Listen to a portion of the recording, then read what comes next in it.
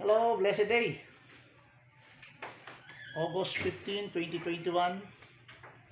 At ah, kapistahan po ng pag-akyat ng mahal na inang Birhen ng Guadalupe sa langit.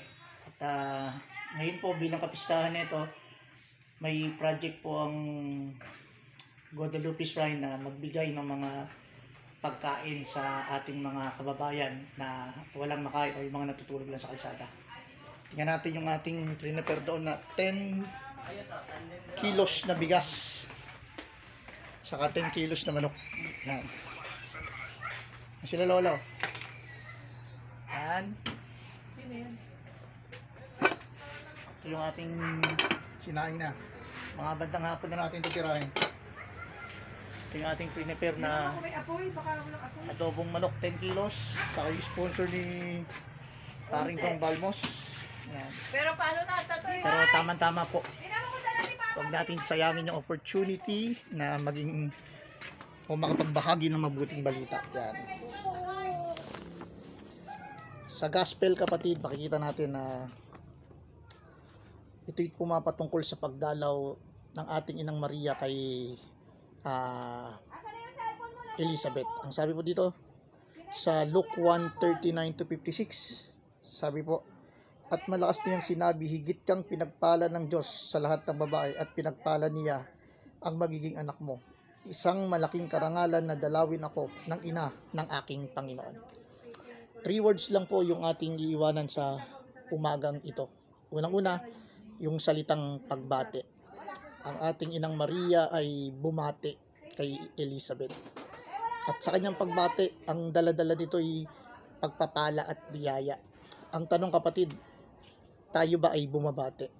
At ang pagbati ba natin ay nagdudulot ng ah, pagpapala sa ibang tao?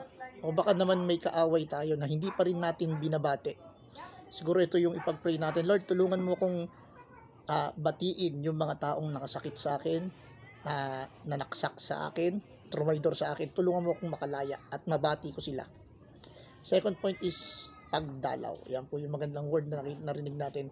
Ang ating inang Maria ay dumalaw kay Elizabeth. At ito ngayon yung magandang pagbulayan natin. When is the last time na nakadalaw ka sa mahal mo sa buhay? Ah, when is the last time na nadalaw mo yung nanay mo, yung tatay mo, nasa probinsya, kapatid mo, or anak mo? Siguro hindi mo man sila nadalaw sa panahon ngayon. Magandang tawagan mo sila so that yung spirit mo ang siyang dumalaw sa kanila maiparamdam mo na ikay nagmamahal tulad ni Maria na nagmahal sa kanyang mga ah, kaibigan at kamag-anak. Ano po yung pangatlo? Sabi po dito kapatid, mapalad ka dahil naniniwala kang matutupad ang sinabi sa ng Diyos. Ito yung kagandahan. Yung sinabi ni Elizabeth kay Maria, mapalad ka sapagkat naniniwala kang matutupad ang sinabi sa ng Panginoon. Kapatid, yung pinakamagandang ah, puntos ngayon ng message ng gospel kay Maria at yun din ang message sa iyo. Naniniwala ka ba na matutupad ang sinabi sa ng ating Panginoon? Ang sagot natin is a big amen. Kung nararamdaman mo na may sakit ka, may sakit ang kasama mo sa bahay, nanay at tatay mo, kapatid mo, anak mo, i-claim mo na ang Diyos mo'y nagpapagaling. Maniwala ka na matutupad ang pangako sa ng Diyos. Tulad ni Maria, pinangakuan siya ng Diyos at tinupad ito.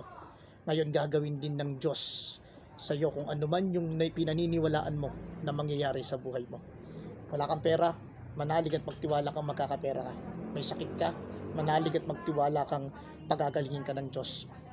May problema sa pamilya mo, manalig at magtiwala kang maayos siya ng Diyos. Meron kang nagawang pagkakamali, manalig at maniwala ka na kaya kang patawarin ng Diyos sa buhay. Si Maria, bumate, tumalaw, at naniwala. Yun po yung magandang message sa atin ng ating Panginoon. Ah, in coordination po ng Pinag-Isang Puso Catholic Charismatic Ministry Incorporated sa inang simbahan ng Our Lady of Guadalupe, samahan niyo po kami mamaya upang mamigay pa po ng mga pagkain, hindi man po ganong kamahalan, pero mahalaga nakatulong tayo sa ating kapwa. Mamaya pong gabi, ah, hapon, mamimigay po tayo dyan po sa street ng Antipolo, Nuestra Urdaneta, magsaysay, ganoon na rin po sa bahagi ng ah, Guadalupe Market. Mula po sa Makati City Police Station, patuloy po na nagbabati. Just hold the line, hawakan natin lagi ang salita ng Diyos. God bless. tutur ko lang po muna kayo sa ating pine-prepare na mga ah pamimigay mamaya. Almost 6 kilos na bigas, may 4 na kilo pa tayo lutuin. 10 kilos. Ah, binili natin to kila Ate Richie at ah, Boss Gary Mendoza. Shoutout nga pala doon. At si Mang Boy, Mang Boy, yung ating chef cook. Samahan niyo po kayo mamigay mamaya. God bless.